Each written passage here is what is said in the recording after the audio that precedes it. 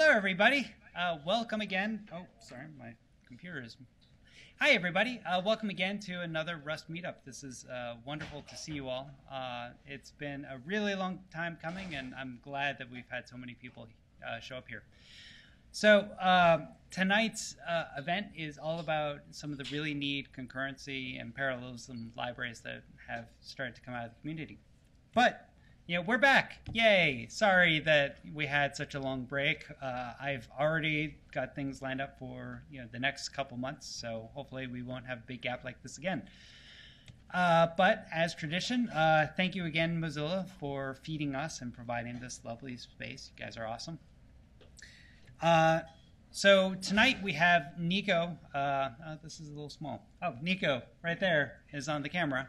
Uh, Nico will be talking about his library, uh, Rayon, for doing very simple uh, threading. Uh, Aaron will be talking about Crossbeam for writing concurrent data structures. And then Huon will close out the evening uh, with simple parallel. Um, and then also, just wanted to mention that I've already announced uh, the next Rust meetup in February. you should sign up. please sign up for the waitlist. We had people 50 people signed up for the meetup before I even announced it. So uh, I wouldn't be surprised if there's a number of drop offs. So, you know, feel free. Okay, all right, I'm going to pass this off to uh, Nico. Thank you. Please give him a warm welcome.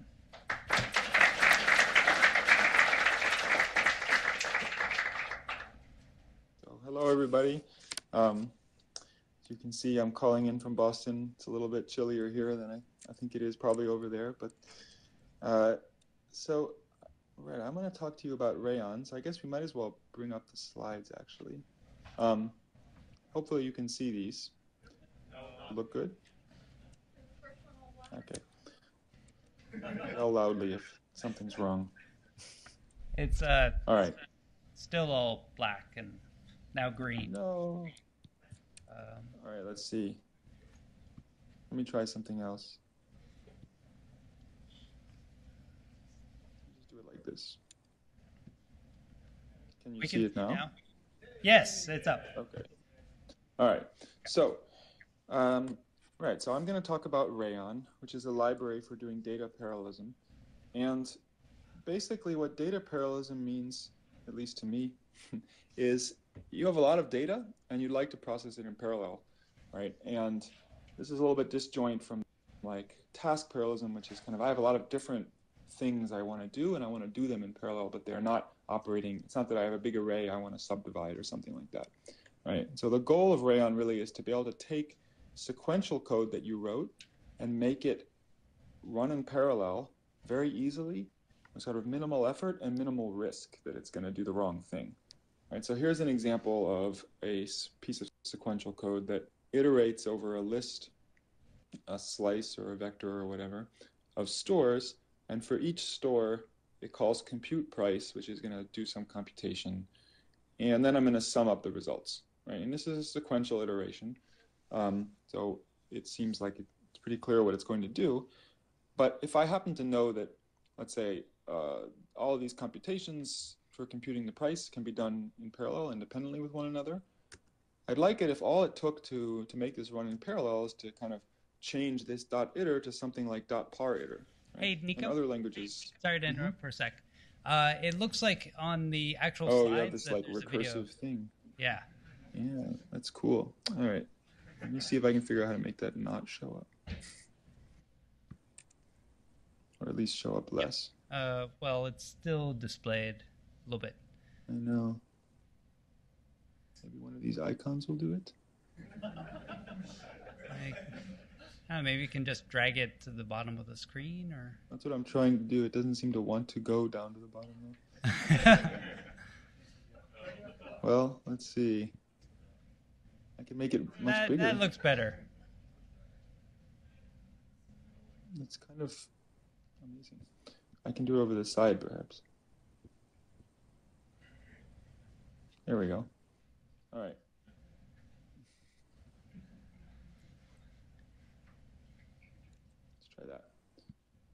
All right.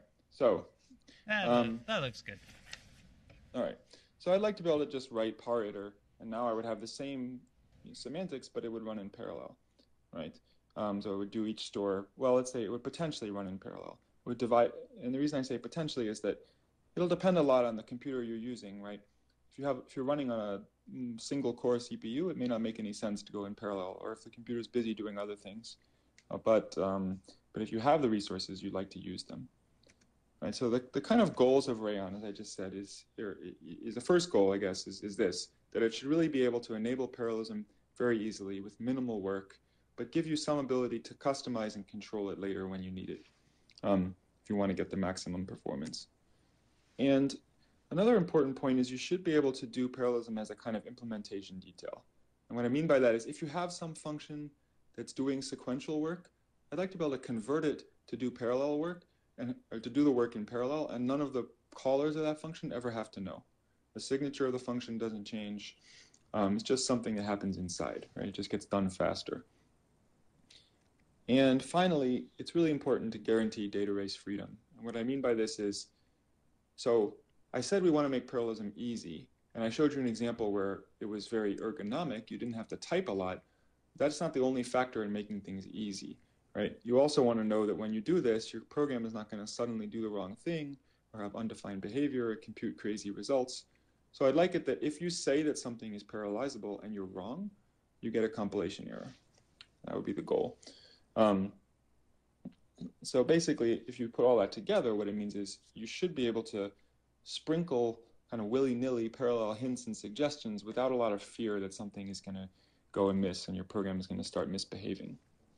So what Rayon basically, where its current status is, I would say it's still very experimental. I don't think people should build production systems on it. However, it's pretty promising, and I think it delivers on these goals, uh, you know, pretty well, basically. Um, and there's there's some caveats and things, but basically it's able to do all these things that I'm talking about, as we'll see in this in this talk. Uh, so I showed you this parallel iter API, parallel iterator API, uh, which is something that's in the parallel or in the Rayon library, but it's not the foundation of Rayon. It's actually just a kind of uh, layer built on top of a more primitive API, which is what I'm going to spend most of my time talking about. And that API is called join. So what join does is it takes two closures, um, as you can see here, and it calls those two closures essentially potentially in parallel. So it may start another thread to do one of those closures, and then they would execute in parallel, and it'll wait until they're both finished but it might also just execute them sequentially if that makes more sense. Um, so the goal is you should be able to add join. This is kind of the thing that you sprinkle around, right? Wherever parallelism is possible, and then let the library in runtime essentially decide when it's profitable to use it. So join is really well suited to divide and conquer kind of algorithms. Um, you're probably familiar with this term, but basically the idea is you have some big problem you have to solve and it's kind of intimidating and you're not sure how to solve it. But you can break it up into two smaller problems and then you can recursively try to solve those. And if you keep doing this, eventually you get down to some really tiny problem that's really easy, right? And the idea is that when you're doing this kind of divide and conquer step, each time that you you divide up into two problems, you can call join to process those two problems in parallel. So let me show you an example. Um, this is quicksort my favorite sort, probably everybody's favorite sort. Um, I imagine most of you know Quicksort, or maybe more accurately, once knew Quicksort, um, and since then I've just used it as a library. That's kind of how I was for a long time, uh, until I wrote this blog post that I'm basing this on. But so Quicksort, let me just kind of briefly review how it works real fast. It's a, it's a classic divide and conquer kind of algorithm. Um, so what it does is you've got a, a slice of data that you want to process, and and you know it starts out in some random order like 1, 22, 3, 2, 6, or whatever. And you're going to start out by saying, well, first of all, if it's length 1, I'm, I'm done, right? Because a one length array is always sorted. Otherwise, you're going to pick, you're going to do this partitioning step, which means we're going to pick a number, which we call the pivot, and we're going to move everything that's less than the pivot to one side and everything that's greater to the other. So we're going to rearrange the array in, in place. That's what partition does. So here, if we pick 3 as the pivot, we would rearrange everything so we have 1, 3, 2 on the left, and then 22 and 6 on the right. And we have this midpoint that gets returned, which is basically where was the dividing line. such that everything to the left was less and everything to the right was was was greater. Um, and now this is what we can use to, to divide up our problem, right? So we can call split_at_mut, which is a method that takes one slice and gives you back two, split around some midpoint. Um, and we'll end up with here two, basically two slices now. One pointing at the left half, everything that was less than or equal to the pivot, and one pointing at the right half, everything that was greater than the pivot. And now I can recursively process them. So when I'm done, I'll have, first I'll sort the left half, and then I'll sort the right half. Okay, pretty easy. So if I wanted to parallelize this, well, I can just do what I said and insert a call to Rayon join exactly at the point where I have two subproblems. So this is the parallel quicksort. It looks pretty similar, except here I'm calling join. Um, and uh, so you see that it took very minimal work to do this, but what's even more exciting and I think very cool about this is that we didn't change the signature at all. Right? So we're actually doing a, you know, not a completely trivial thing to parallelize here because we have mutation going on um, and we're also potentially working with stack allocated data. These things are usually a little bit tricky to get right because if you start up a thread, uh, it runs asynchronously with respect to the, this person, the, the stack frame that started it. So working with stack allocated data can be a little risky. If you return or do something wrong, you might pop that data while the other thread is still active. Um, but the reason that all this works with Rayon is that basically we're because join always waits until both threads have finished before it returns, you know that it can have safe access to stack allocated resources just fine um, because basically the stack frame isn't going to return until both threads have done. So the library kind of handles that aspect for you. And that makes sense for if you're taking a sequential algorithm, you were going to do both those things anyway before you return. So you might as well wait for the threads to finish. Right? It's the same algorithm from the caller's point of view. Um, and in terms of mutation, this works out very well because of Rust's basic type system, which guarantees you that if you have a, mutable reference to something, then you're the only one that has access to that data. So it's okay to put it to another thread and let the other thread mutate it because no one else can be reading it. But we'll see a little more on that in, in a bit. Um, I want to start out though, I want to focus instead on talking about how how does Rayon decide when to run things in parallel at all? Right? And the technique that, that I'm using is something called work stealing, which I did not invent at all. Right? It's been around a long time. And uh, I think it was invented, at least the first time I know of it, by Cilk, which was a project at MIT from the, I think the 90s. And um, that Cilk is actually now available as part of Intel's C compiler, and there have been a number of projects that have used it in the meantime. So it's a really time-honored, well, well-respected technique. And the basic idea is is like this: rather, tr traditionally, when you parallelize, you might take a bunch of work and assign it to different threads. But work stealing is more of a dynamic load balancing idea, right? So I have a bunch of threads in a pool. In this case, let's say I have two threads and they're going to find work for themselves. So let me show you kind of, it's easier to illustrate it than to describe it. So we start out with two threads here, and thread B is basically idle initially. It has no work to do. But thread A starts out with the job of the big, the big, the big problem that I started with. So in this case, that's quicksort. That's what QS stands for. Calling quicksort on a slice. Let's say it's 22 elements long to start, right? Then uh, we saw that what quicksort does once it starts working on a particular problem is it subdivides the problem into two two subproblems and then it calls join on both of them right? And what join is going to do basically is take these two closures and it's going to start executing the first closure but just before it does that it's going to post a little a little note into a thread local queue with the second closure. So this queue is basically tracking work that we plan to do later, but we haven't gotten to it yet. So we're starting in on 0 to 15, and then we've put in the queue 15 to 22 so we can pick it up later. Um, and when we process 0 to 15, we'll again subdivide into two tasks, and we'll put one in the queue, that's the 1 to 15, and we'll start in on 0 to 1 right away. This is the one length array, so it's going to finish. And when it finishes, what it's going to do is go over to this queue and take off the most recent thing that it put in. So it's actually a double-ended queue or a deque. You can use it like a stack or a queue. It's a minor point. Um, but that means we're going to say, okay, well, we finished 0 to 1, so the next thing we have to do is this piece of pending work 1 to 15. And we'll go over and execute that. And this is where it gets a little interesting. So all this time I've been talking about thread A, and thread B has just been idle, right? Um, so what thread B is going to do is while whenever a thread is idle, in order it tries to find work for it to do, and it does that by looking at all the queues from all the other threads. So now thread B might come over and say, you know, I've got nothing to do, and thread A has this this uh, 15 to 22 task just hanging out in its queue. Maybe I'll be helpful and I'll take that work on. And we call that stealing. So thread B is going to steal this task and execute it. And it's called stealing, but it's kind of a weird sort of stealing. It's like if a thief came into your house and saw that you hadn't finished your dishes and started doing them for you, right? It's pretty nice. It's a nice kind of stealing. Um, so thread B is going to execute 15 to 22. And it'll do the same thing. It'll subdivide this up into two problems and post one of them into its local queue and start in on the first one. And it'll do that again. And so it basically works exactly the same way, right? Um, so now when it finishes a problem, it'll take something off of its queue just like thread A did.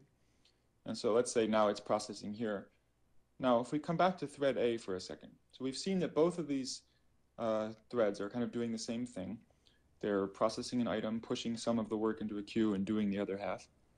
So let's say thread A finishes the work it was doing, and then comes along here. Now it's finished both subproblems, so it's completely done with 0 to 15. And now it would go to this next item in the queue, but it can't because thread B stole it away. So that basically now it just has to wait. To, in order to do 15 to 22, thread B is already started. It just has to wait for thread B to finish. That means thread A is idle. And when threads are idle, they go look for other work to do. So now we can go look at thread B's queue and we can say, hey, here's some work that thread B started but hasn't finished yet, 18 to 22. I could steal that back. Right? And so now thread A is going to do 18 to 22 while thread B is over there. And you can kind of imagine now this proceeds like this until all the work is done. So everybody kind of just does the work they have they create new work and throw it on their queue, and hopefully somebody else takes it before they can even get to it, right? So it's kind of like if that thief came in and was washing my dishes and I see that they haven't yet gotten to a particular pan, I could take it back and start working on it. Um, so everyone's working together to finish all the problems. So what's nice about this is you get a kind of dynamic load balancing effect. So it might be, quicksort is not the best example of that, but if well, even here you can see actually the tasks don't all take the same time, right? Some of them are for big pieces of the array, some of them are for smaller pieces of the array. Um, and so if you have tasks that take a variable amount of time, which is often the case, then it's really hard to pre-allocate those to threads because you might end up giving one thread a lot of really big expensive tasks and another thread a bunch of really easy tasks. And then the other thread will finish really fast and you just won't get a very efficient use of your, your, your resources. But with work stealing, that's not a big problem because if one thread finishes fast, it'll just go take work from the other threads and try to take care of that instead. Um, so here's a big wall of code. Uh, this is kind of the, the, header of join and a little bit of pseudocode. And the reason I'm showing you all this code is that I want to kind of highlight some of the, the Rust features that let, let you write something like join as a library in Rust and have it work pretty efficiently, which I, I think is pretty cool. Um, so if you remember, join takes two closures, and closures in Rust, here's the, the arguments to join, oper A and oper B, those are the two operations. Um, closures in Rust are just generic types that implement this, this callable trait, right? So here A and B are the types corresponding to the closures. And, and here is where we say that they must implement the function once trait, which means that they have to be callable at most once. Um, and uh, the reason that these are like actually two distinct types and why that's really nice is it means that every time you call join, you'll get a custom version of join. The compiler will monomorphize, meaning it'll create a custom version of join specialized to those particular closures. That means that LLVM can basically inline and do optimization and hopefully, uh, in general, basically reduce the overhead of join in the sequential case. So there's no virtual dispatch, there's only static dispatch, and so forth. Um, now, this is the, the kind of pseudocode for what I just described. So if you remember, we always push something on the queue and then execute the other task. So here's the, the push onto the queue part. And the thing I want to highlight here is that we don't do any allocation when we push on the queue, or we don't necessarily, at least in the common case. The, the actual closure that we're pushing on the queue, we can just push a reference to the closure that lives on the stack. So we don't even have to allocate any memory to do that, right? It's just a, a few writes. And then we can call the, the first closure and then execute the second closure. And each of these calls, as I said, are statically dispatched, which means they can be inlined very, effect, uh, very easily by LLVM and analyzed very easily. And then finally here, this is just a little loop that says, well, if if somebody stole my work, then I'll, I'll help out until it's ready. Um, and this basically, this while loop is essentially what causes join to wait until both threads have finished. Okay, the last thing on this slide that I just sort of glossed over is this send trait. So what this is saying is, uh, if you if you if you are familiar with Rust, you'll know. But so send is basically, or if you've used multiple threads in Rust, you probably encountered send, I should say. And send is basically the trait that identifies data types which are safe to send to another thread. So it, um, things which can be safely transported between threads and won't cause any data races, right? And so when I when I say that the closures have to be send, what I mean is all the data that you use from your closures. So in the case of quicksort, that would be the array that we're sorting and so forth, has to be sendable to another thread. And that makes sense because join might cause those two threads to execute in parallel, or it might not. But in the case that it does, the data had better be safe to go to another thread. Now, as it happens in Rust, most types actually are send. Right? Almost everything is sendable by default. The only exception is basically these these three types and things that use these three types. Um, so if you use the RC type, reference counted data, that's not thread safe because the reference counted data doesn't use the correct atomic operations to increment the ref count, which means if, if two different threads increment the ref count at the same time, they might mess it up, basically. But you can use the ARC version, which is the thread safe version, and it will work just the same.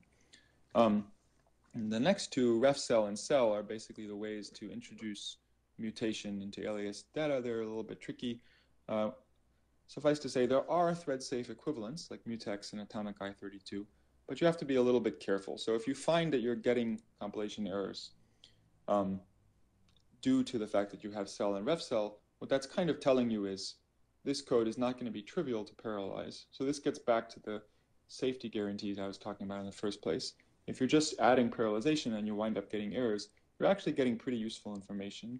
You're saying that this that there's some shared state that gets mutated, um, and you want to think about it. You could add a mutex or some other mechanism, but at that point, it's no longer guaranteed that your parallel version is going to behave the same as your sequential version. So you have to think about it a little bit. Um, and so that's one aspect of safety, basically, uh, that we want to make sure that you don't transport types that are not thread safe across threads. And then the other is you want to make sure that you don't transport the same data, especially mutable data, across threads right? So this is a version of Quicksort which is almost the same as the correct version, except that instead of sorting the, the low and the high on the two different threads, it actually sorts the low on both threads. Um, and it's kind of it's kind of funny that I, have been using this as an example for, for a while, and I always thought, well, I don't know if people will really make such a simple mistake. But then when developing Rayon, I actually made several mistakes exactly like this, several times, and the compiler caught them for me, and I was very happy. So uh, what will happen basically if you do something like this, where you accidentally use the same state on both threads, is that the compiler will complain, and that's the message you get. And what it's telling you is um, basically that if you want to mutate state in Rust, you have to have unique access to it. So here, I have two closures. They both have access to the same data, so neither one has unique access, right? Um, and what's what's cool is that this this rule wasn't designed with parallelism in mind, but it, it fits parallelism very well. Um, so that the compiler isn't really doesn't necessarily know that these run in parallel, but it knows that it needs to keep mutable access um, unique. And so it just kind of falls out from that. So you can't share mutable state, but you can very easily share read-only state, which is exactly what you want. Um, so that's how join works. And I've kind of dumped through it, delved through it in some detail. So this API that I showed you in the beginning was a parallel iterator. And I'm not going to go into it in this talk because uh, I don't want to take a long time. But basically, you can build up the parallel iterator in almost entirely safe code uh, using join. And in fact, it was building the parallel iterator APIs where I made that mistake of passing the same half to both half, both, closures, um, at least when building Rayon. So, uh, so that's pretty cool that the join is actually flexible enough to be used to kind of build up abstractions on top that are that are even easier to use and apply to other situations. And uh, there is, I have written up the details of how this works, at least at a certain level. It's in a blog post that I'll show a link to later. So if you're interested, you can go check it out. Um, but the basic idea is that it will divide up the work that the iterator is going to do recursively in the same fashion. Right. So in conclusion, I guess there's a couple of points I wanted to, to kind of bring across. And these, the point that I really don't want to get across here is you should go use Rayon. Um, what I do want to get across is I think there are some some goals and lessons to be learned from Rayon that I think we should try to incorporate. And whether the I hope we will end up with a package much like Rayon, which is very widely used. It doesn't have to be Rayon. I'd be perfectly happy if somebody else wrote a better one. But I think these are some really important things about it. We really want to have optional parallelism, which means you want to be able to say what can run in parallel, right? What what would make sense to run where the program will still be correct, but you don't want to have to say exactly what will run, how many threads there are going to be, if there will even be threads. It's just it's kind of annoying to do so. It makes your programs complicated and it's really hard to get it right. And it's actually ultimately something that's going to depend a lot on the environment where you're running the code anyhow. So you'd rather just have it be something that's dynamically figured out for you. Um, oops. And the other thing is that Rust really offers a great foundation for writing this kind of library, right? So the, the borrow checking rules basically give you data race freedom. As I showed you, like you get this uh, mutable state is uniquely accessed by default. That's just the normal thing. Um, so that actually goes both ways. That's great for the library author because it makes it easy to get this uh, these kind of guarantees you want. But it's also great for you when you're writing sequential code you're kind of writing parallel ready code uh, without even realizing it, so to speak, um, just because that's the way that you normally work to, with code in Rust. And the fact that we have these lightweight closures that can be stack allocated, that have static linking and easy inlining, also means you can do kind of just in the compiler, you can build up a lot of great low cost abstractions. So I'm pretty excited about that. I think it's worked out very well. And the last thing I'm going to show you is uh, just a couple links. These are more for people who come and look at the video later, but um, this is where the Rayon project is on GitHub. And this really, really long URL that I had to put in a small font is actually the blog post that I was talking about that kind of goes over everything I said here, but in somewhat more detail. So that's all I have to say. Thank you very much. Um, if you have some questions, I would love to answer them. I guess. I don't know if we do questions. Yeah, there, there are microphones out in the audience. Hi, thanks.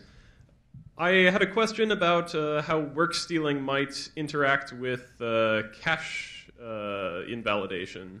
If two jobs are frequently stealing pieces back and forth from each other, could that have uh, performance implications? Yes, um, it, it can. Uh, I'm trying to think now. So work stealing is usually does actually fit very well with cache algorithms, and the reason is because because of a kind of specific detail that I didn't go into too much detail on in this way I showed it, but because what you the way it works is you start out with these really big problems, and you you recurse you make them smaller, right?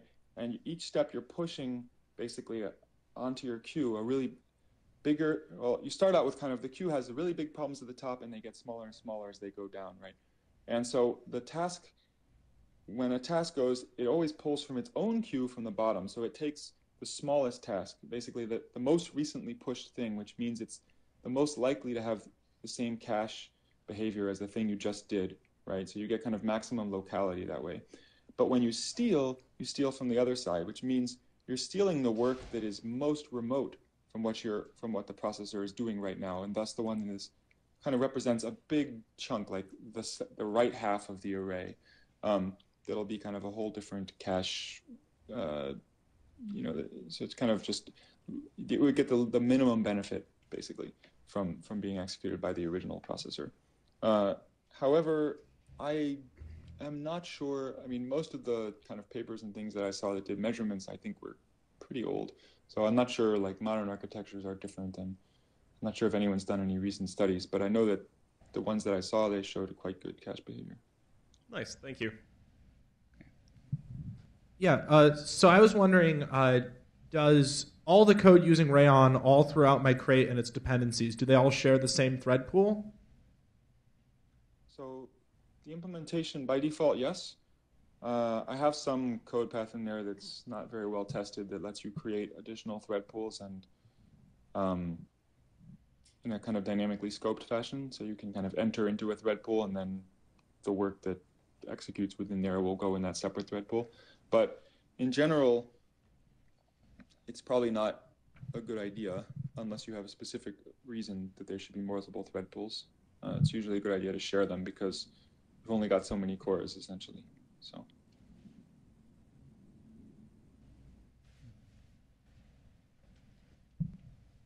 So you were talking a bit about the safety of Rayon, part of that having to do with data races, uh, but you mentioned in passing that if you use something like a mutex, you can accidentally reveal the fact that these things are running in parallel.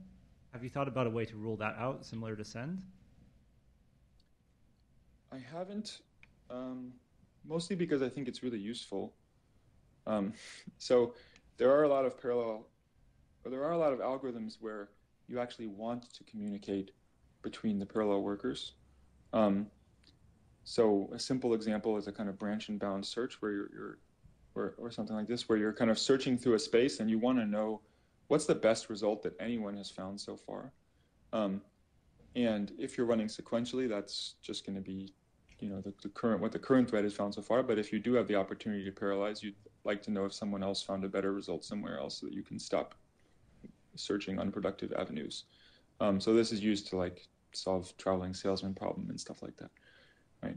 Um, so I'm not sure that's a problem, basically that you can reveal the parallel execution. Like if you're using a mutex already, you're already in a parallel mindset. You've already delimited your transactional boundaries where you acquired the lock and unlocked it. Um, so I'd be surprised if it actually led to bugs in code. But it does seem like we one could add something like send, except that I don't know. I haven't thought about it that hard, but it could be. it seems like you could try to rule it out. It could be a good application of lattice variables, like the kind of thing you were talking about. If the state is monotonically growing or something like that, you still get a determinism guarantee. Yes. Any other questions? Ah, Kevin.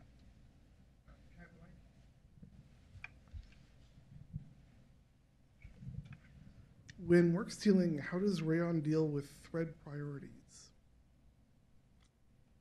Well, it doesn't really, right? So um, it it gives it gives all the so this kind of comes back to some extent to the to the shared thread pool question that was raised earlier, right? So if you have multiple uh, threads with different priorities and they're each starting up parallel tasks, we don't give one thread pool higher priority. Like we don't give the the tasks in the thread pool all have equal priority wherever they came from. Um, it's an interesting idea. I don't I don't know how you would extend it to cover priorities except by having distinct thread pools with different uh, uh, just leveraging the, the OS like priorities that way. Well, could threads acquire the priority of the thread that they're stealing the work from? Potentially. Um, the challenge is that they can get mixed. They can get mixed. Uh, like there's there's one thread pool, right, which is basically a totally different set of threads than the one that are normally used in your application. So you can have tasks intermingled from different application threads in there, which may have different priorities. So I guess they could set and unset the priority as they go. Um, that might be a good way to do it. I'm not sure. For what it's worth, I think that's how libdispatch does it on OS 10. Yeah. Any other questions? Going once. All right. Thank you, Niko, so much.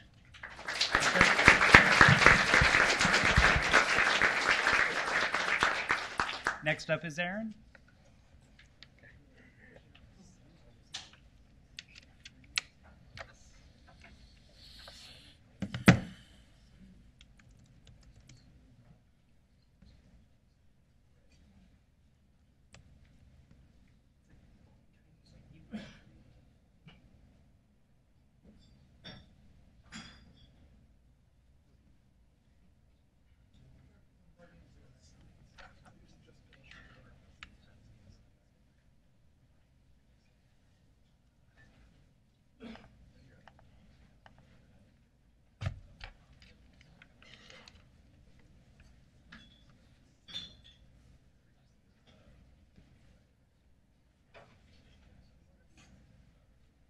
That's there we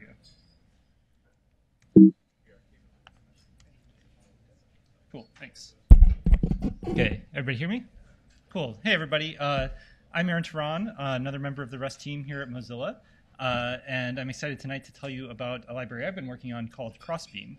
Um, so, Crossbeam is targeted at sort of a different layer of the stack than the library that we just saw. Um, so, Niko's library Rayon is all about writing uh, sort of introducing parallelism into your program, and it relies on some underlying data structures like work stealing queues. Crossbeam is targeted at those kinds of data structures, basically. So it's it's a library for high performance concurrent data structures, and in particular, uh, the the sort of big ticket item is lock free data structures, which I'll spend a lot of time telling you about tonight. Um, but I'm also interested in user space synchronization, um, which is closely related, things like uh, semaphores, barriers, latches, and so on. Um, and then a sort of central topic that, that ties all this together, which is uh, concurrent memory management. So a lot of work on lock-free data structures ends up assuming that you have a garbage collector. We don't have that luxury in Rust, so we have to deal with uh, memory management in some other way, and that ends up being one of the big challenges. So I'm going to spend a lot of time uh, in this talk talking about the memory management approach as well. Um, so to start off with a bang, uh, here's a comparison of uh, some of what Crossbeam uh, provides to some of the state of the art uh, elsewhere in, in the sort of tech ecosystem. Um, so Java is actually a place that has a pretty strong story for things like lock-free data structures. There's a, a, library called Java Util Concurrent that has similar goals to Crossbeam and provides a variety of data structures. Um, and so here I'm comparing uh, the Java concurrent linked queue in that library, um, a hand-rolled implementation of a similar queue in Scala, and then two queues that are implemented in Crossbeam. Um, and here, lower is better. This is the uh, uh, amount of time sort of per queue operation uh, in a multi-threaded uh, test case, right? So this is this is basically just showing like the overhead of the memory management scheme I'm going to show you today uh, is quite good, and in, in, fact, it's pretty easy to, to do better than Java. So the Java concurrent link queue here is highly tuned. The stuff in Crossbeam is like textbook algorithms uh, with very little effort put into them. Okay, uh, yeah. Just real quick, uh, does that Java does that include the amortized cost? Of, uh, does the Java benchmark there include the amortized cost of garbage collection? Yes. Yeah, I mean, and yeah, we'll we'll we'll get into more detail on this. I should say, feel free to ask questions throughout. Um, this is definitely going to be a little bit more technical than the previous talk. Um, okay, so I realize that probably a lot of you don't know a lot about this low level area of concurrency, so I want to start by talking about some of the important trade offs in that space. Um, and so, of course, we have to talk about the cache. Um, that's, that's always a huge determiner of performance. Um, and the cache story gets a lot more complicated once you start talking about having multiple cores, right? So this diagram shows a fairly typical architecture where you have a number of different cores on the same die. Each of them has a dedicated L1 cache, and then they have a shared L2 cache. Um, so the interesting thing about this is uh, there's a coherence issue, right? If you have an address in memory, that could potentially be in four different caches, right? In any of the L1 caches of, of these four cores. How do you actually ensure that all of these cores think memory has the same value? Um, there's a protocol uh, for doing this. Um, a typical one is the so-called MESI protocol for cache coherence. And the idea is pretty simple. Basically, each cache line has a state at any given time. Um, modified just means that it's, it's dirty. Basically, it needs to be written back to RAM. Exclusive means it hasn't yet been changed, uh, but this core is claiming it is the only one with a valid cache line for this address.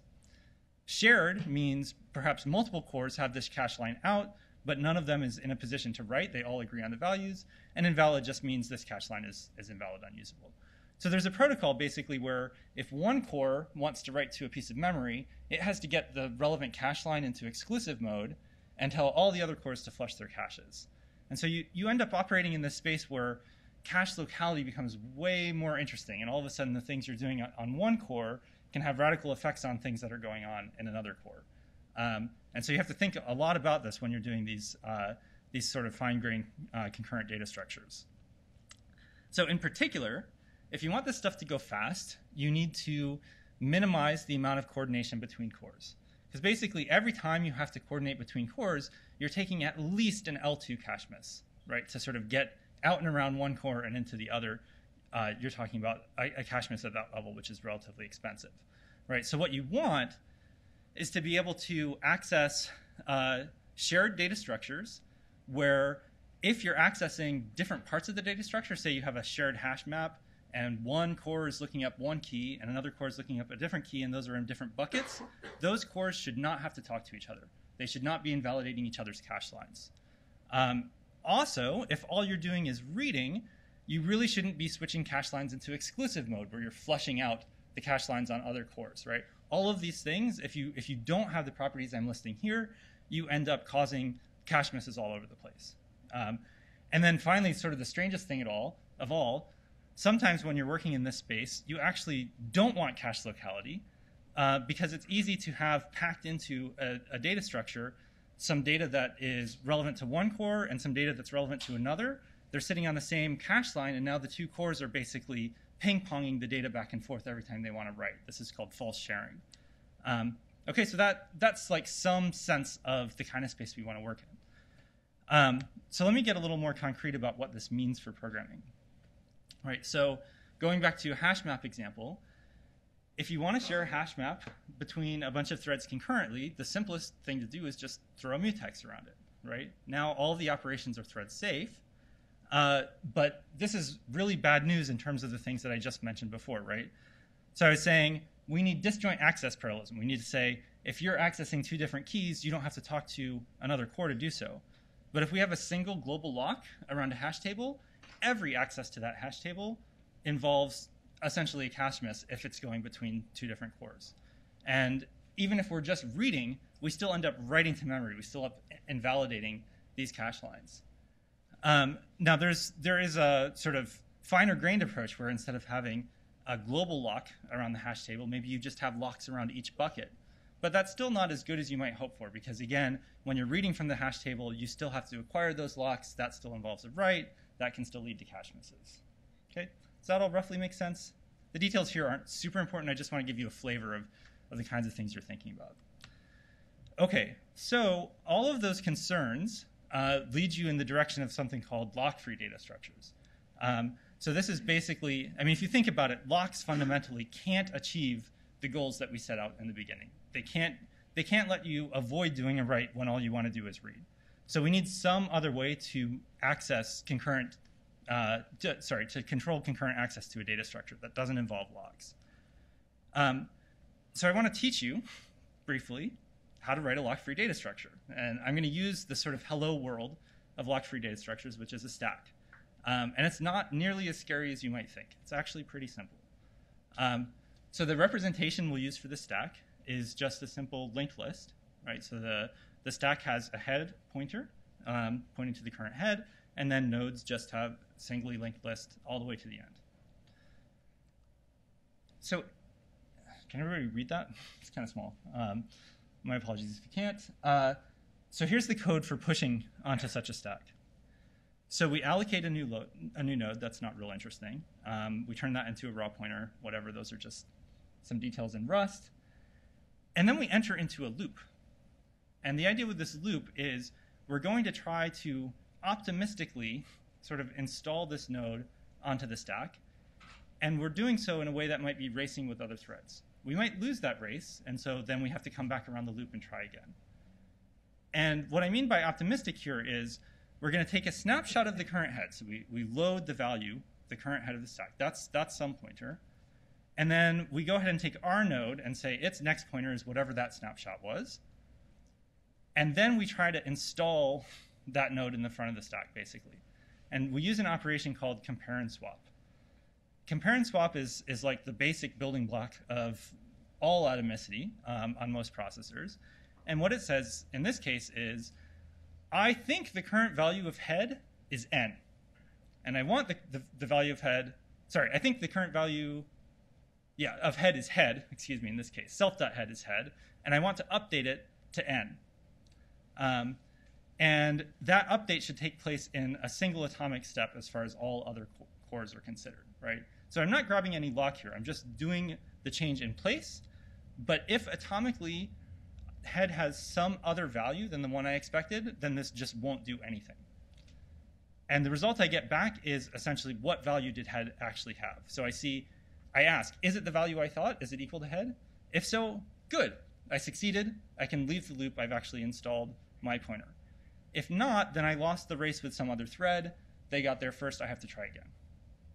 Okay, so let me let me show that to you more graphically. All right, so say this is the current state of the stack. We have a head pointer. We have two nodes. A thread comes in and it wants to push this node uh, with the value seven. So it allocates that node. It reads the current value of head and links it links it into the allocated node, but it hasn't yet changed the head pointer. Meanwhile, some other thread comes along and pushes a different node in, right? So now we have our local node that has seven, but the actual head pointer has changed. At this point, if we do our compare and swap, it's going to fail because we think that we're pointing to the node that contains three, but actually that's changed. That's good because if we actually succeeded, we would have just dropped the node with five on the floor, right? That's what we're trying to avoid. Um, so then we have to retry. We'll get a fresh snapshot. We repoint our tail pointer. We do another cas, and this time we succeed. Okay? That's how you push in a lock-free way. Uh, before I go on, any questions? That mostly making sense? So, I'm new to Rust. Uh, I guess in C, like, you, you know how you have volatile? There's nothing like that in, in Rust, I think. Uh, so, right. So, if we look back at the representation, basically everything you need to declare is in this atomic pointer aspect, right? So that's that's enough to tell Rust and LLVM, you know, I'm going to be modifying this in a sort of concurrent way, in a racy way, right? And that's that's what makes what we're doing here not a data race, but actually a synchronization race, which is a good kind of race. Um, okay. Uh, because like the whole point is it's valid for different threads to race over pushing on a stack. We're just trying to make sure that they don't uh, destroy the basic invariants of the stack when they're doing so. Do you have a question? Okay. Um, so let's look real quick then at pop, which is pretty similar. Um, so in this case, we we don't need to do any allocation up front, right? We're just trying to pop a node off. So we enter right into our retry loop. We grab a current snapshot. If we see that the head is actually pointing to null, then we have nothing to do. We have observed a moment in time where the stack is empty, and so we just return the stack was empty. There was nothing to pop. Otherwise, we take a look at what that the node we just snapshotted, what we think is the current head, we look at what its next pointer is, right? And then we go back around and try to change head from the one we read to its next pointer. And the same story happens if someone else, if some other thread pushed or popped a node in the meantime, this compare and swap will fail and we'll try the whole thing again. Um, and for people who know Rust deeply, you understand what the pointer read stuff is doing here. For people who don't, don't worry about it, the key point though is this implementation leaks nodes, Okay, you have to understand some of the subtleties of Rust to actually like be able to see that this is happening. But effectively, we're using these raw pointers, these unsafe pointers in Rust, and those don't have any automatic uh, dropping going on. We have to actually get those into some owned value in order for them to, to be deallocated. So here we're just reading the data out of the node and then not doing anything. Okay, we successfully delinked the node, but we never actually free its memory. We have a leak. Okay, now if this were Java, we'd be done, right? Because the garbage collector has our backs, and that's great. Um, but things are not so nice in Rust. Okay, uh, so you know you might you might think, well, okay, let's just deallocate it here. What's the problem, right? We know that we are the only thread that popped this node. Nobody else is going to be deallocating it. Why not?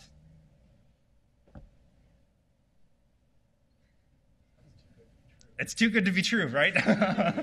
um, so the problem is, and this is this is quite subtle, um, but if we go back to this pop implementation, there's something very interesting going on here. So we take this snapshot of the current head. Now we have a node in our hand.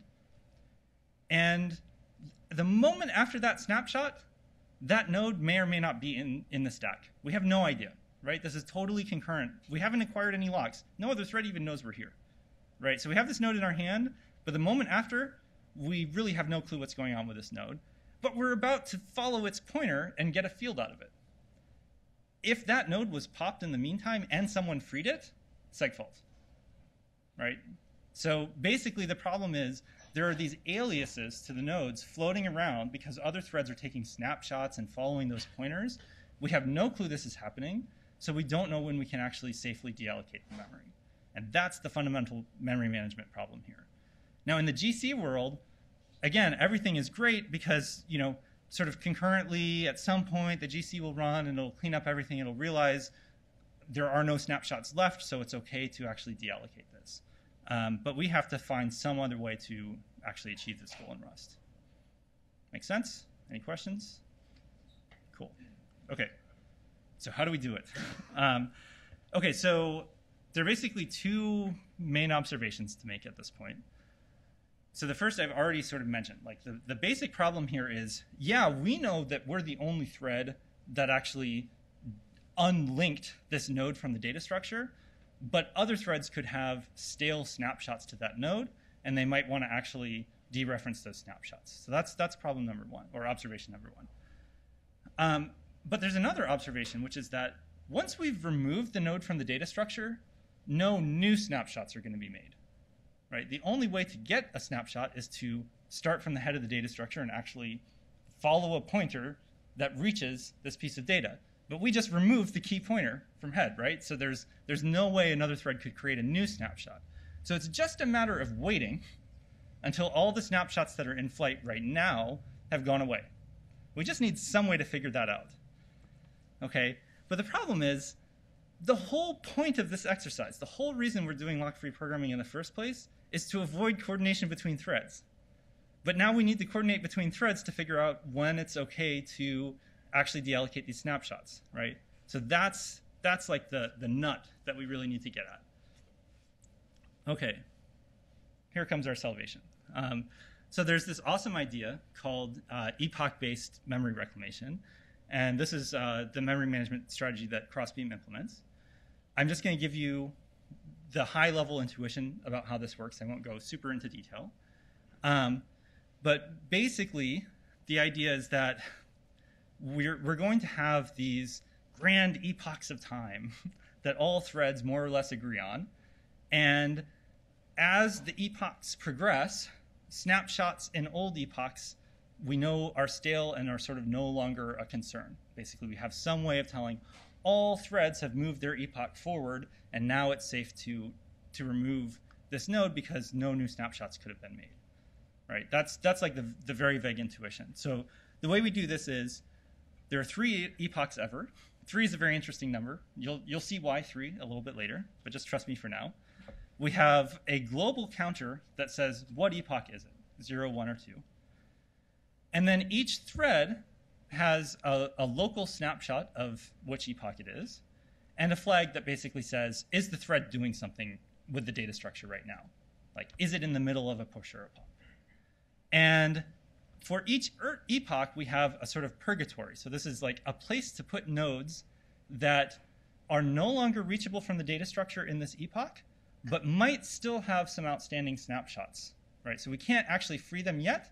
We know we're going to free them later, but we need to wait until the epochs have progressed far enough before we can do that.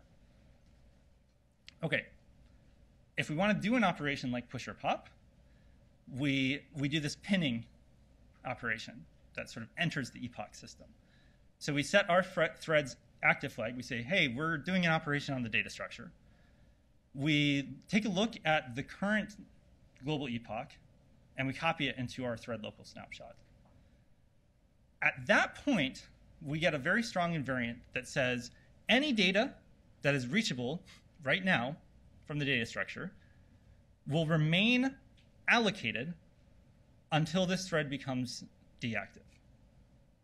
We have pinned the global epoch to this value, and we know until we leave our operation, nothing that we could ever encounter will be deallocated.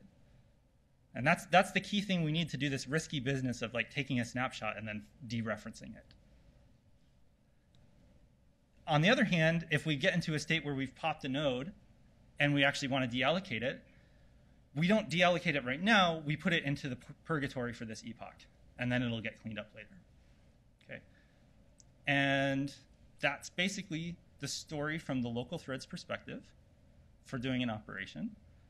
Of course, eventually, you want to actually free some data, right? That is the point.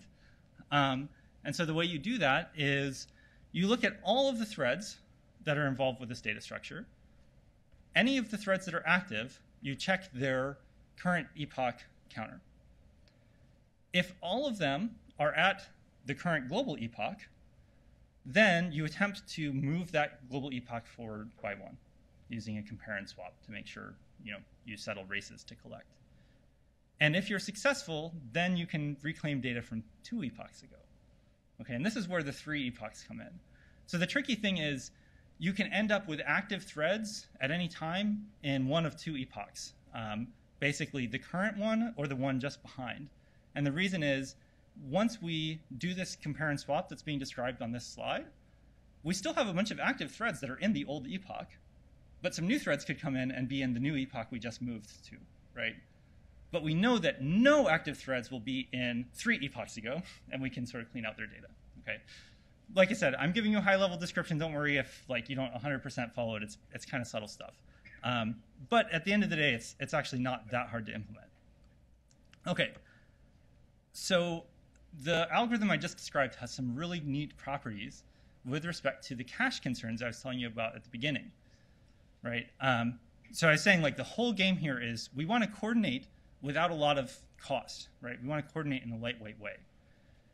And so the thing is, we don't have to collect data at every operation, right? We can batch it up and deallocate it occasionally, right? When just like we were doing a GC when we're sort of running running low uh, in the nursery or something. Um, moreover, because we're doing this infrequently, the global epoch is usually staying the same, which means all those different L1 caches can have the cache line with that global epoch in the shared mode right? They're not invalidating each other. When you do that, that read of the global epoch, you're getting a cache hit most of the time, right? It's pretty cheap. Um, your thread local epoch is usually in the exclusive mode because other threads aren't reading it most of the time. So that's cheap to write to. That's not a cache miss. So the only time you incur real coordination costs, like cache misses, is when you actually do a garbage collection, basically. And those are infrequent. We win. Okay, and moreover, you can apply a single epoch management scheme to any number of lock-free data structures, right? So you don't even have to do this in a per data structure way. You can sort of amortize it over everybody, um, which is how Crossbeam is set up. All right, any questions at this point? When do you decide to collect? So there are lots of ways you could do that. Um, for so Crossbeam works tweaks a few details from what I showed you. In Crossbeam, each thread actually has a local purgatory. And basically, when that purgatory gets too big, it says, oh, I should probably try to free this, this data. Um, but like, there, you can imagine many, many schemes for doing this, and it, it's basically orthogonal to the main algorithm. other questions? Yep. Uh,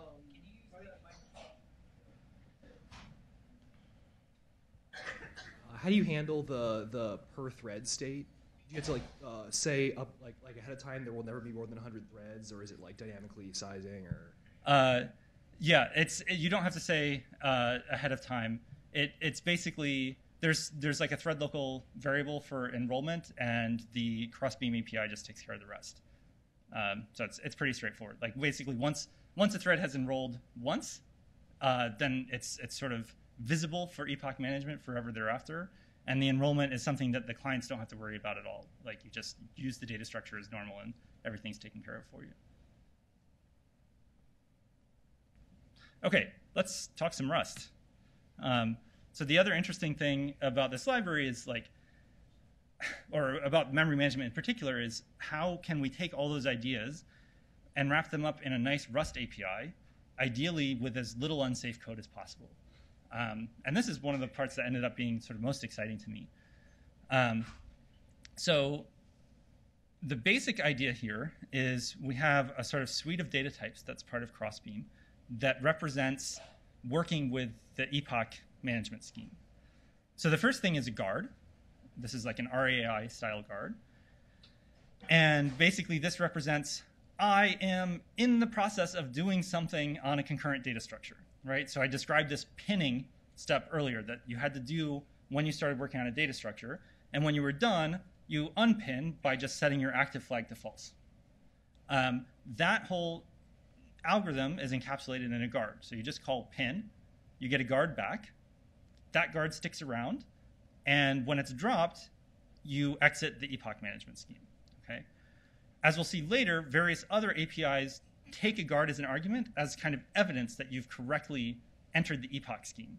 So you can't get it wrong, right? You can't interact with the data structure unless you've advertised that you're interacting with the data structure in the right way.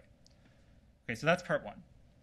Part two is we have uh, some pointer types that are sort of akin to the ones in the standard library, but they're meant for me- this style of memory management. So we have owned of t, that's basically like box of t, it's just a piece of heap allocated owned data. We have shared, uh, which looks just like a shared reference, um, except it's, it's memory managed by this epoch scheme. And we have atomic of t, which is just like atomic pointer that we saw earlier. But the really cool thing is, this is the most exciting thing to me, owned and shared implement deref safely. So they're just totally normal pointers. If you have a shared pointer with a lifetime and you're in that lifetime, you can dereference it without writing unsafe code. Even though like that memory is undergoing all of this concurrent uh, memory management, right? So here's how it works.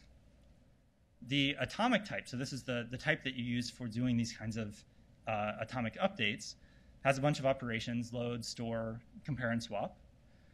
And these interact with the guards that I mentioned before in a sort of interesting way.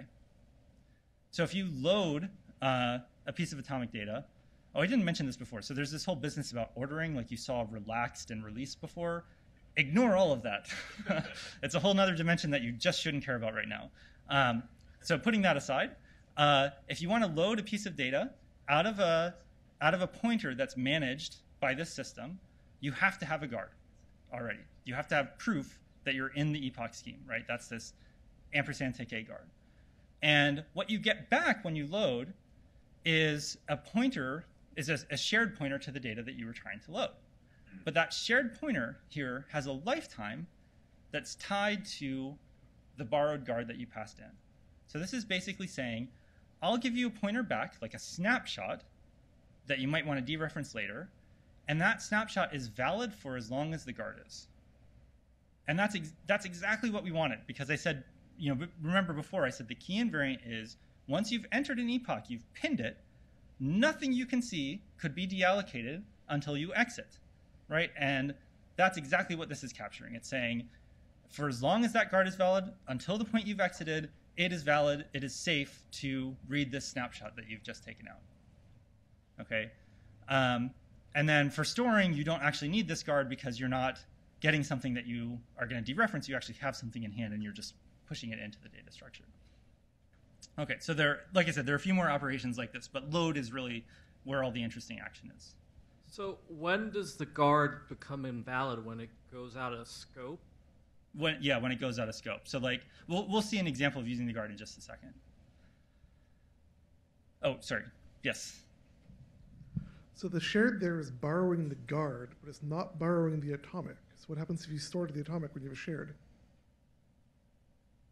Sorry, what Is that- happens is if it you safe to store to the atomic while you have a shared load?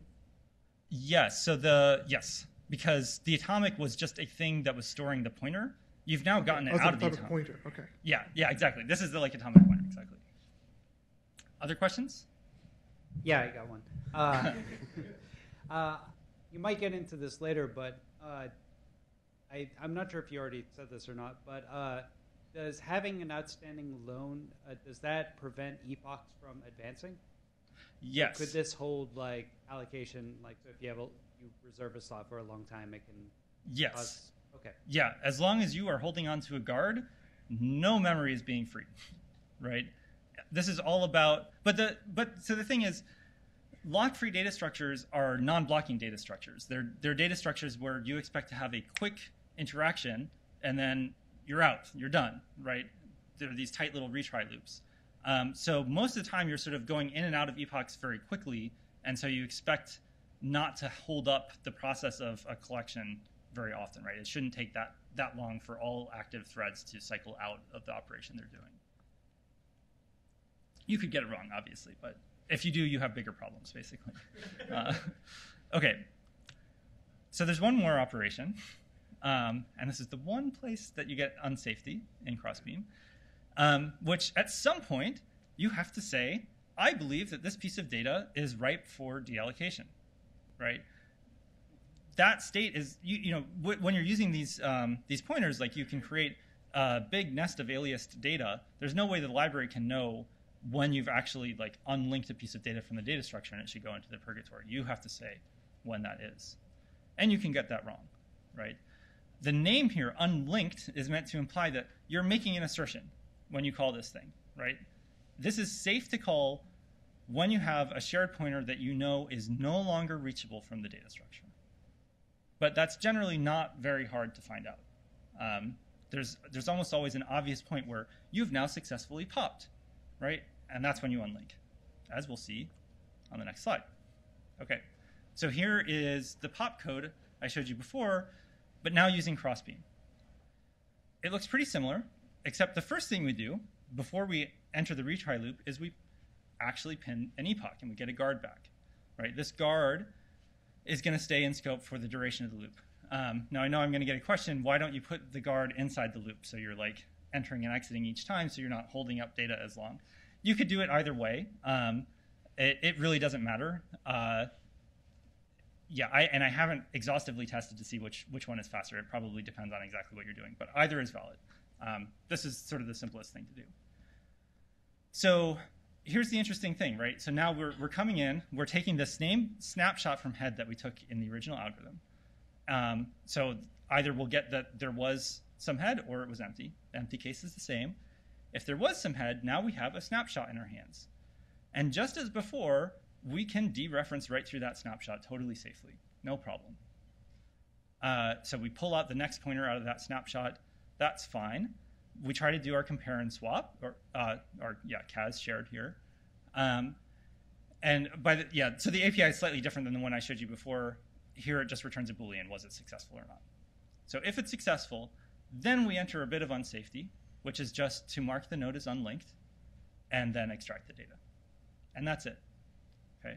So a key observation here is like, I walked you through this complicated description of this algorithm, but as a user of, of the library, you don't have to know any of that stuff, right? All you need is this epoch pin, guard unlinked, and that's basically it. Otherwise, the code that you're writing looks as if you were programming in a garbage collected language, right? You can take an algorithm from Java, port it over to Rust, sprinkle in a few unlinks at key points, and you're good to go. And you get performance that's better than Java when you do so, right? So that's that's the sort of essence of the memory management story in, in Crossbeam. Okay, I'm going to wrap up here. Uh, so let me just say a few things about what else is going on in Crossbeam. Um, so the, the bulk of the implementation right now is the, the epoch uh, algorithm and API that I showed you. There's also uh, two multi-producer, multi-consumer queues. Um, one of them has uh, a blocking mode if you if you want to block when no data on the queue is available. Uh, there's also a work stealing deque, uh, thanks to uh, Alex Crichton. Um, and there's a scope thread abstraction, which is kind of a random thing. Uh, it's a little different than the rest of these. Um, okay, so that's that's what's in it today. But what I would like to do over time is, like I said at the beginning, really make Crossbeam, uh, you know, a strong utility library that offers a number of concurrent data structures in this vein. So the most important one to tackle, of course, is concurrent maps, concurrent hash maps in particular. Um, that's a massive implementation challenge, but in Rust, it's also a very interesting API challenge. Uh, for a fun exercise, think about taking the current sequential API for HashMap and think about how you'd have to change it if you wanted concurrent access. It's less obvious than you might think. There's lots of subtlety there. Um, so I'm really eager to experiment in this space. Um, but there are lots of other kinds of collections, sets, and bags that you'd like to have as well. Um, synchronizers, as I mentioned before.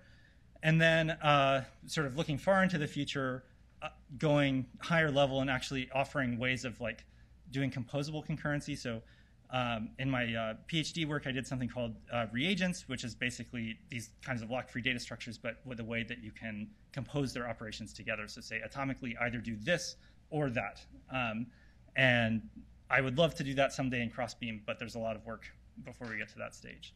Um, yeah, so that's that's basically it. I'm happy to take more questions.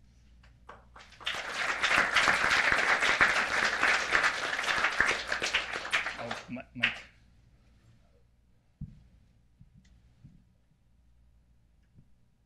You talk about concurrent hash maps, are you thinking of Cliff Click's or are you thinking of something simpler? something simpler to start. I, I would probably start with uh, something closer to Doug Lea's implementation in Java. I thought that was striped blocks. I thought that one was striped blocks. Uh, it's so it originally had some locking. It's moved gradually over time to a more and more lock-free approach. Oh, okay, okay. I wasn't aware of that. Yeah, um, but I, I'll probably start here actually with skip lists, just to work on the API space before really working hard on the implementation. Yeah, I mean, it would be awesome to have Cliff Click's. Yes, yes. But it's like 100 pages long. Yes.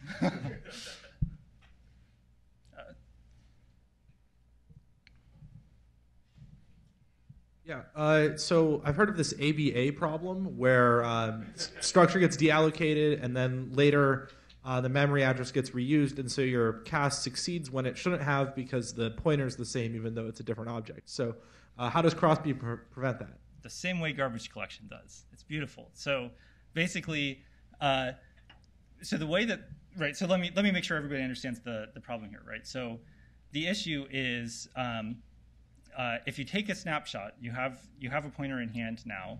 Um, you're going to do a compare and swap based on that pointer later, but it might be in the meantime that it's been deallocated, reused for a different purpose, and relinked back into the data structure. Now your operation succeeds, and it should have failed, and you've ended up with something bogus, right?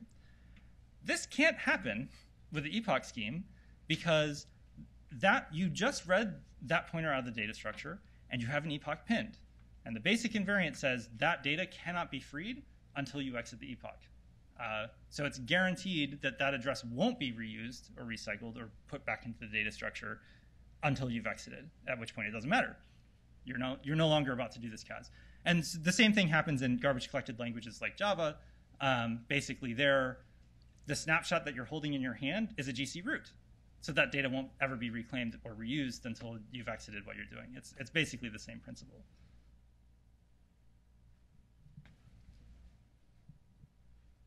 Um, judging from like the pointer read after the unlink, I, w- I would assume that like the, the when you're freeing an epoch, you're not actually running destructors. Uh, yes, correct. And I, yeah, I think there's actually no way to safely do so, and, and I don't think you really want to. Um, it doesn't fit what you what you're generally doing with these data structures. So this seems like it would do fairly well under high contention. Um, I'm wondering about low contention cases. How, how well this scheme works if, like, you most of the time only ever have one thread reading data, say. Right. Um, does the like overhead of fiddling these epochs all the time uh, start to add up? so that's that's a great question. Um, I think the the cost of fiddling the epochs is basically trivial in that case. Um, you're just like incrementing some, yeah, yeah, exactly. And an uncontended CAS is, uh, you know, pretty fast on like modern Intel chips. Um, but I so so that's one potential source of overhead. The other is that you have this purgatory. So instead of like just freeing memory directly, you're actually accumulating memory to free later, and there's some allocation involved there. Um, but generally, if you're following the scheme I mentioned earlier, where you just you do that free every time you get up to a certain size, you just keep reusing that same purgatory list over and over, so the allocation is amortized. So I think it's not it's not too bad, but it depends. It basically comes down to how fast is an uncontended CAS on your architecture.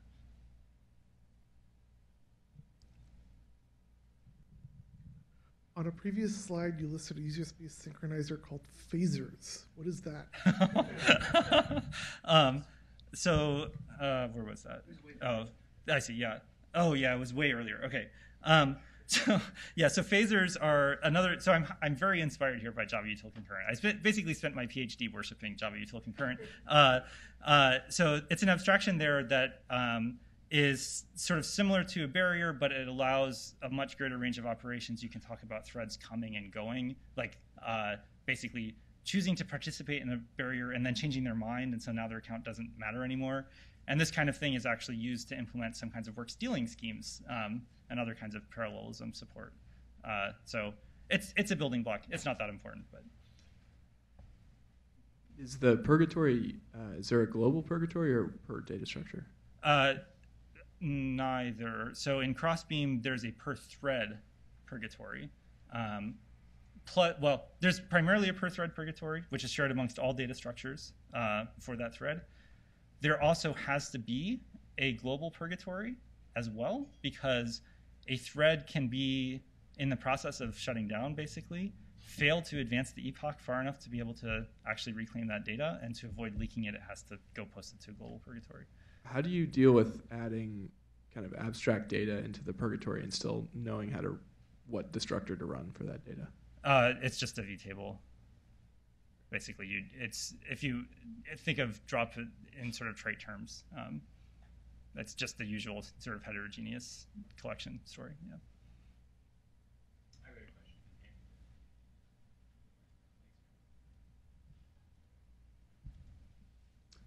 Actually, actually, I have two questions. One's super lame, but but one's you know it has some guts to it. One is uh, the super lame question is how did you get your little uh, like the the lines to move in your animation?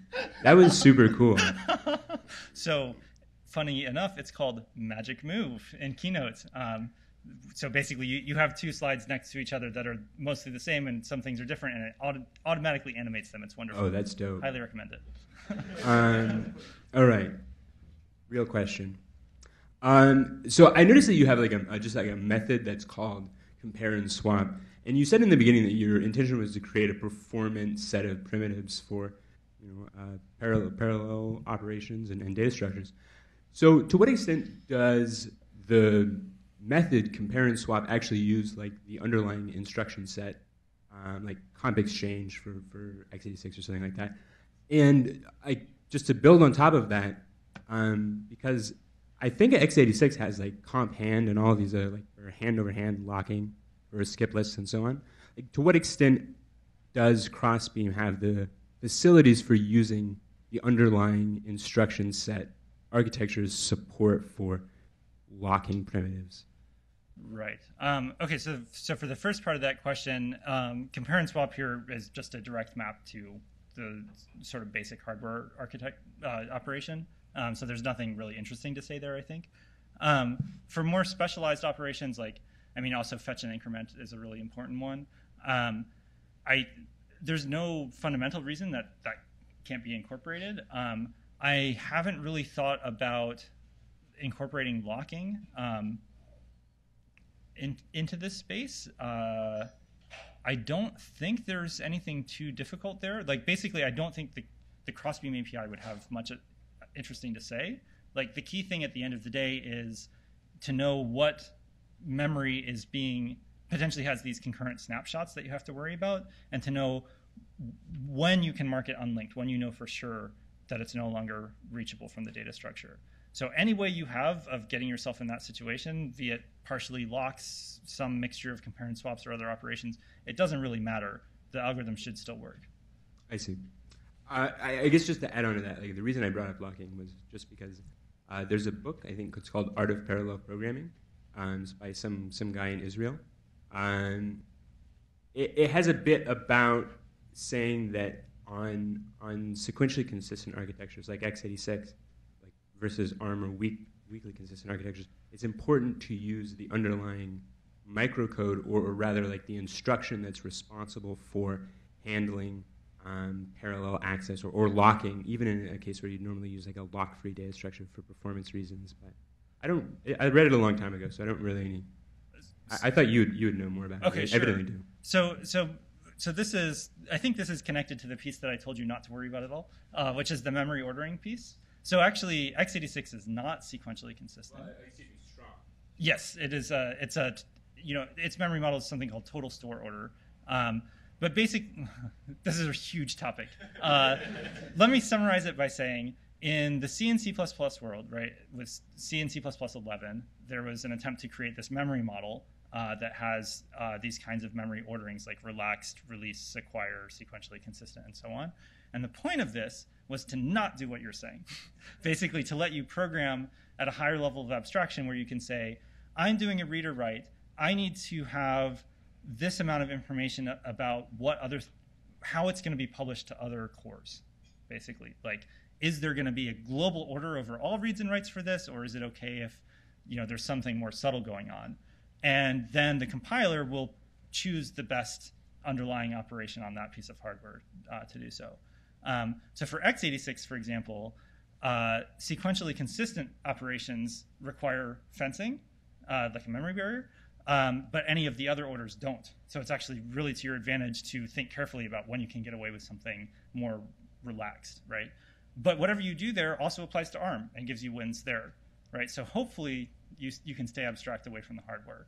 Um, so I don't know. Maybe that's just an optimistic take, but that's certainly what the memory model is trying to do, and Rust inherits all of that 100%. Yeah. All right, we've run out of questions. Awesome. Thank you guys.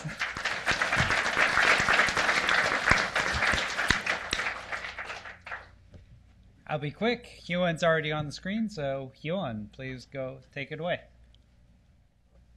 Can you hear me? We can, yes. We don't see Okay, let's- anything like that yet, though. Oh, Is that sharing? yep, we see it. Okay. Um, hi, I'm Huon. I'm a volunteer on the Rust team, and I'll be talking about my library, Simple Parallel. And so there's a link at the bottom if you want to type in type it in quickly, which has got various links and the slides and so on. Um, anyway, so what is Simple Parallel? It's designed to sort of be a little bit like Rayon, except worse. It's designed to be a really a really easy way to add a whole pile of parallelism to your code without having to think about it at all. So the main API um, has got these three functions: for, map, and unordered map. And I guess the best way to, to understand what they do and how the library works is to look at, look at an example. So for this example, I've got a, a program here. It's kind of long, but the, the main point is it takes a list of files on its command line arguments, which are images, and then we'll resize those images to be 400 by 400 pixels, and then write them out. But of course, the, the resizing image bit isn't that, isn't particularly interesting, so let's just focus on the loop in in the main function, which is just this bit. And so, as, as I said, it's got these this files iterator, which is the list of command line arguments. It will run through it and resize each of those images. This is very sequential. It's only using one core, and like my laptop has eight cores, and most even phones nowadays have more than one core. So this is a waste of resources. So instead, we should we should use parallelism, threading, for example. So I'm using the, the great scoped thread pool library here, which is uh, good. It gives you precise control about exactly what you want to run where, but it's kind of annoying to use. So you, first you have to import the crate, and then you have to spawn a pool, and then you have to avoid the problems with destructors by using this scoped function. And then finally, you can run over the images and then spawn a thread to, well, spawn a job to resize each of those images. So it's kind of annoying. It's a lot more work than just writing a for loop. So what if instead of just using normal threading, you could use magic threading? So here's simple parallel. It's got this for function. It's basically literally just a for loop with the iterator and then a closure. So that closure will be run on each of the elements of the iterator uh, and then do its work, and preferably in parallel if you've got multiple cores. Uh, obviously, like I'm saying fast, but is it actually fast? So I ran it on a directory of images. The sequential version took 41 seconds. Scope thread pool and simple parallel both took about 10 seconds. So we're saying it's more than four times faster on a machine with four physical cores or eight with hyperthreading. So that's about what you'd expect for a like a computationally intense task like this. So how does it work? For the this library is designed to be safe and easy to use, and so it tries to imitate a for loop as much as possible, which is why it takes an iterator as an into iterator instead of just a like a the iterator trait. So this allows it to like you can just pass in a vector and that will automatically be converted into an iterator. These iterators will then yield this item type, which has to be send, which makes sense. It's get part it gets passed across threads because that's how the parallelism works.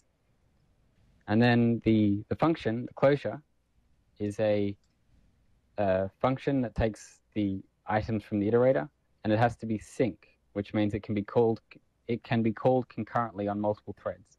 So that signature basically describes exactly what is going on in terms of parallelism and what what safety constraints you need to satisfy. satisfy. Course, this makes more sense with a diagram. So here we've got the iterator type, oh, the iterator value, which is the red squares, some long sequence of, of things. And then at the bottom, we've got a thread pool. In this case, it's just two threads. And each of those has a reference to our closure, our func closure. And so to start off, first we'll take the first two elements of the iterator and pa pass them off to the thread pool. And then they'll run. The, the functions will be called concurrently and they'll be running in parallel. And then when one finishes, the next element will be pushed onto the thread pool, and then so on and so forth until the iterator has been exhausted. At this point, the for function will return and we'll have finished our for loop and hopefully run jobs very efficiently and quickly. And so now sharing and safety. Um, like Rayon and like Crossbeam's scoped threads, this is designed to offer flexible sharing. So you can have data that's, you can have references that are point into your main thread stack and manipulate them freely without worrying about problems. So in this case, we've got a our array data of 10 elements, and we run in a for loop across those 10 elements, adding this outside variable to each of those. So this would result in data having 1, 2, 3, 4, 5, 6, 7, 8, 9, 10 in it after the uh, for loop returns. So this is perfectly safe. The fact we're using an iterator and that simple parallel is fairly careful means that um, each of those elements won't alias. There's no data races. There's no um, mutation of variables that shouldn't be mutated. This particular example wouldn't be very efficient because of false sharing and so on, but you know, it's safe, so that's nice. What about if we made a mistake? If we'd flipped around outside and elem, so instead of adding outside to each of the elements of the array, we were incrementing outside each time. So this would then result in outside having, theoretically, if it ran properly, it would theoretically result in outside having value 46 or 36, something like that.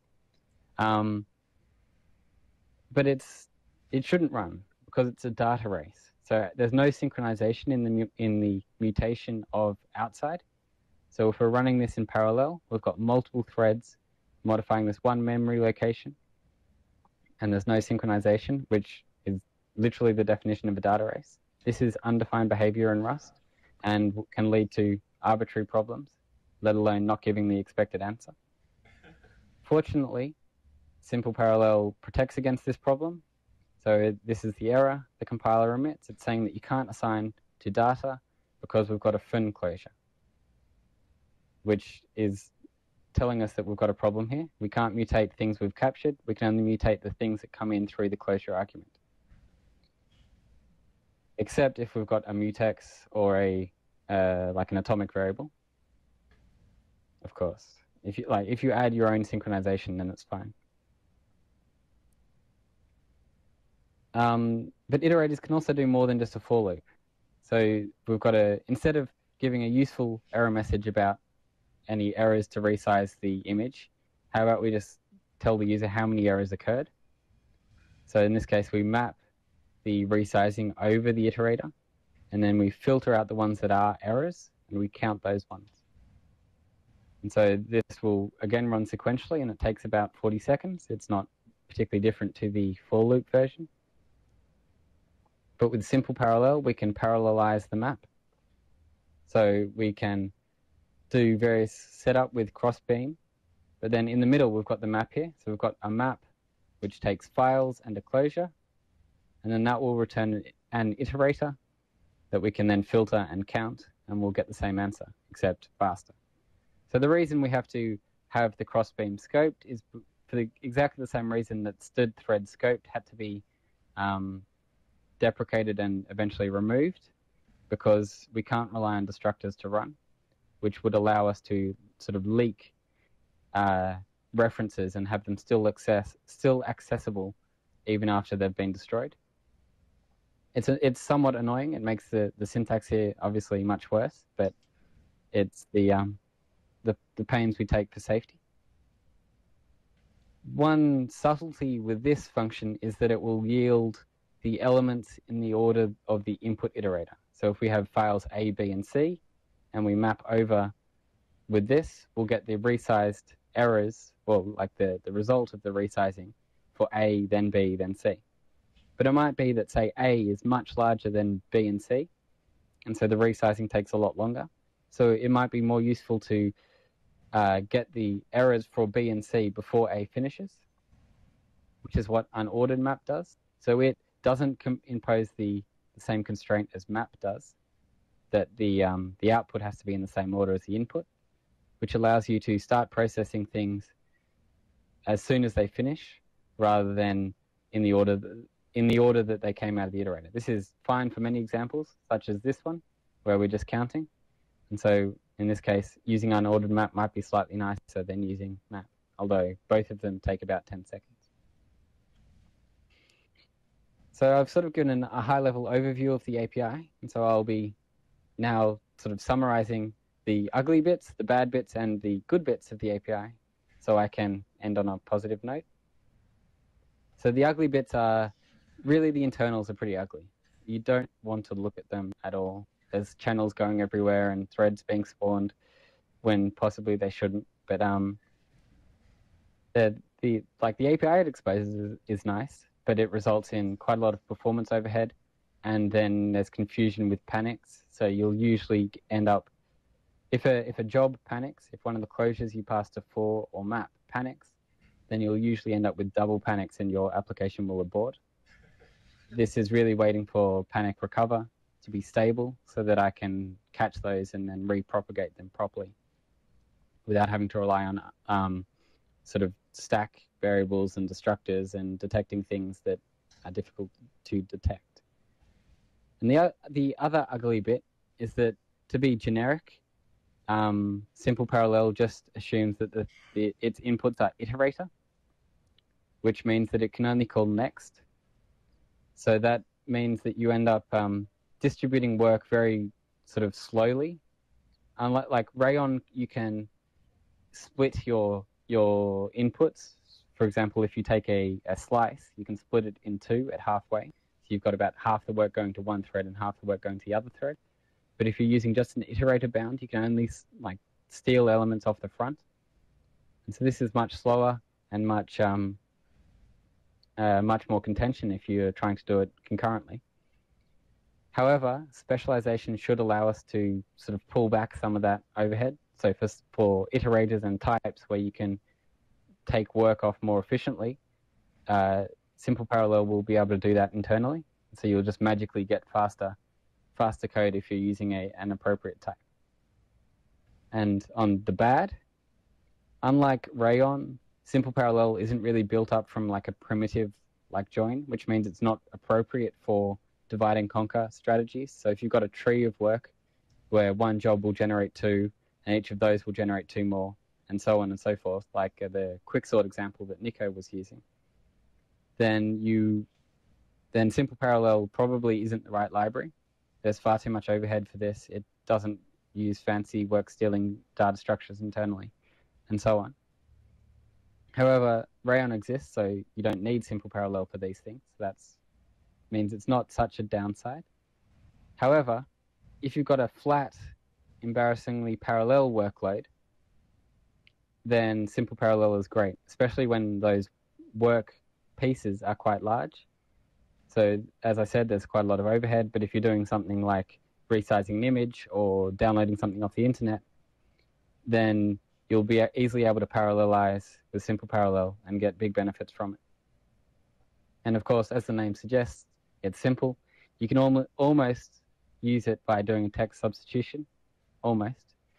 But, um, uh, well, adding a few parentheses as well. But that's the high level overview of simple parallel.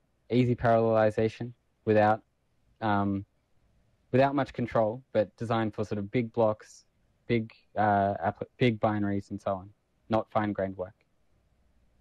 I think that's all the stuff I've got. Are there any questions? Here's the link as well to the the um, the slides and the code and so on. All right.